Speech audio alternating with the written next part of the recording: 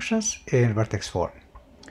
Example 2, graph the quadratic function f of x is equal to x plus 3 square plus 1. So, first of all, first of all, number 1 here. Let's say number 1. Number 1, let, uh, let us look at this uh, a in the front of the function here, the factor a that indicates acceleration or compression factor. A is equal to the 1. So a is equal to the 1. So it means this is a greater than 0. What does it mean? The parabola will be concave up or is going to face uh, upward. So the parabola is going to be up, the graph of the parabola. So 2. So 2, let, uh, let's see what is the vertex. Find the vertex. So the vertex is going to be here h and k. h is a 3, negative 3, and k is 1. So the vertex is a negative 3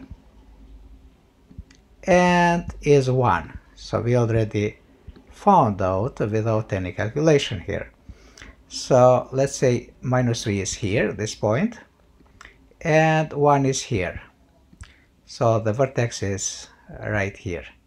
But the, because the minus 3 is here, the axis of symmetry is going to be equal to minus 3. So let me find the, let me draw in the axis of symmetry here. So the axis of symmetry is this line, this uh, vertical line that divides the graph of the function into into a symmetrical side. So 3. So 3, uh, let's find the x-intercept. Let's find x-intercept. Let me write x-intercept. So if we find the x-intercept, uh, let y or f of x, because we are working here with a function, let uh, f of x is equal to 0. So f of x is equal to 0.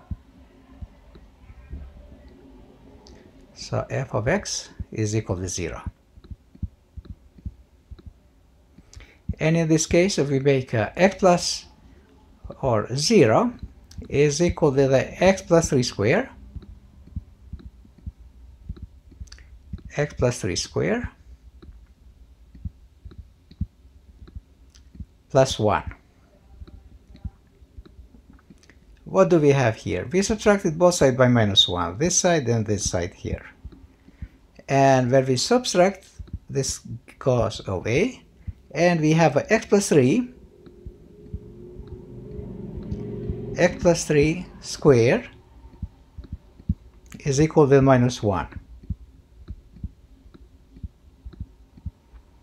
If we are taking square root of both sides, what do we get here? Here uh, x plus 3 is equal with a plus minus square root of minus 1. Square root of minus 1. What does it mean? It means we have uh, imaginary roots. So x is equal, if we are doing all the calculation, we subtract both sides by minus 3. So I am going everything to give here is going to be minus 3 plus minus i.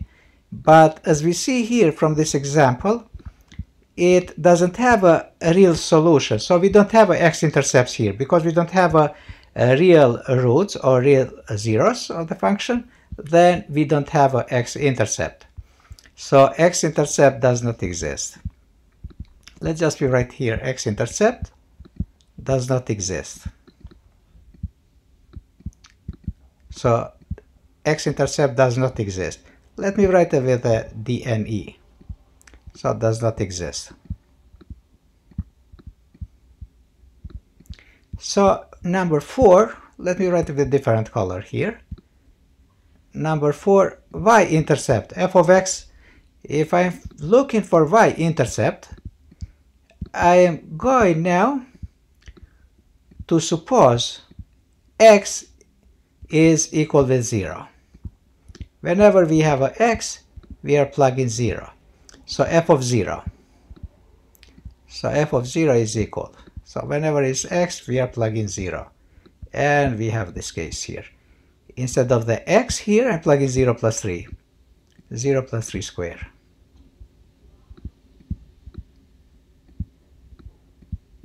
Square plus 1. And what do we have here? 0 plus 3 is 3, 3 square is a 9. And f of 0 is equal with a 9 plus 1, which is a 10. So 0 plus 3 is uh, 3, 3 squared is a 9. Okay, let me write it just for the sake of the argument in a long way. So f of 0 is equal with 10. So we already see the y-intercept we have at the point when x is a 0, y is 10. And if we want to graph it here, this is a, let me write, this is a v. And the vertex is going, the parabola is going to go up because as we indicated in 1 here.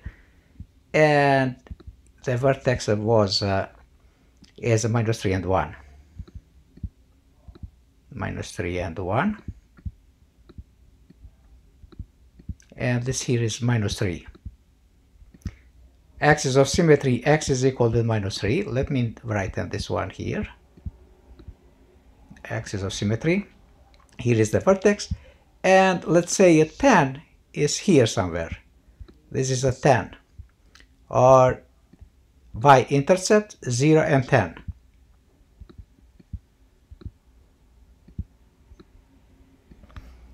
And we found the x, y intercept and now we can draw the graph of the function. Here is the 3 units on this side and I'm looking in the 10 here. If I'm going 3 units, it's going to be here somewhere. And let's say if I'm going 3 units from the axis of symmetry is going to be minus 6. This point here is going to be minus 6 and 10 because of the because of the the line of symmetry divides into symmetrical side. I know whatever this point is uh, is uh, from three points from this side in 0 and 10 and I'm going to the left side which is a minus 6 and 10 the other point. and now I can uh, connect all the points and we can graph the function. Let me write it with a different color here and let me go. And now if I'm graphing the function, if I'm sketching the function, is going to be something like this and the other side is going to be so this is a graph of that function with the vertex form, a quadratic function with the vertex form.